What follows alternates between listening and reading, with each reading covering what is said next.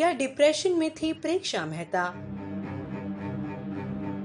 क्या लॉकडाउन में काम न मिलने की वजह से सदमे में थी प्रेक्षा? प्रेक्षा के सुसाइड नोट ने किया चौंका देने वाला खुलासा। क्या था प्रेक्षा के सुसाइड नोट में? टीवी के बड़े बड़े स्टार्स ने प्रेक्षा के निधन पर दुख जताया है।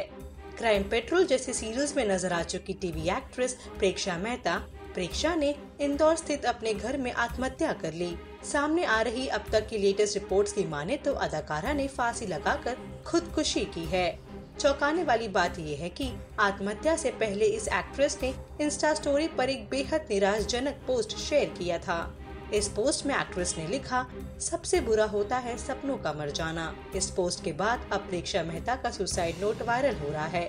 जिसमें उन्होंने अपनी ज़िंदगी को खत्म करने की वजह बताई है।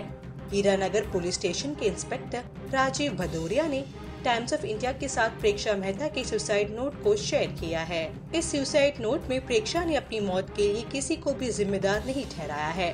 प्रेक्षा मेहता ने इस नोट में लिखा है कि, मेरे टूटे हुए सपनों ने मेरे कॉन्फिडेंस का दम तोड़ दिया है। मैं मरे हुए सपनों के साथ नहीं जी सकती। इस नेगेटिविटी के साथ रहना मुश्किल है। पिछले एक साल से मैंने बहुत कोशिश की, अब मैं थक गई हूँ। प्रेक्षा मेहता के कजिन ने खुलासा किया कि प्रेक्षा काफ़ी होनहार थी, लेकिन कुछ दिनों से वो काफ़ी शांत थी। कजिन का कहना है कि बीती रात पूरा परिवार कार्ड खेल रहा था, लेकिन प्रेक्षा घर की सीढ़ियों पर अकेले ही बैठी हुई थी।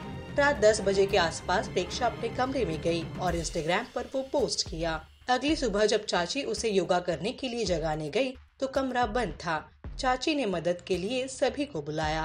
वेल पेरेंट्स के थ्रू ये खबर आ रही है कि लॉकडाउन की वजह से एक्टिंग प्रोजेक्ट्स ना मिलने की वजह से प्रेक्षा डिप्रेशन में चली गई थी, और इसलिए उसने इतना बड़ा कदम उठा लिया।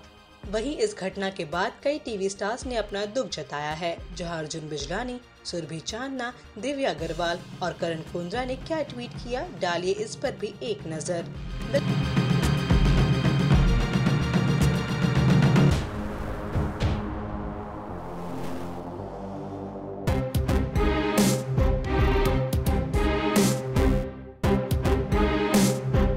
क्राइम पेट्रोल के अलावा प्रेक्षा मेरी दुर्गा और लाल इश्क जैसे शोज़ का हिस्सा रह चुकी हैं। प्रेक्षा मेहता ने Madhya Pradesh school of drama से पढ़ाई की थी और इस दौरान उन्होंने कई नाटकों में भी हिस्सा लिया था हमारी तरफ़ से प्रेक्षा को भावपूर्ण श्रद्धांजलि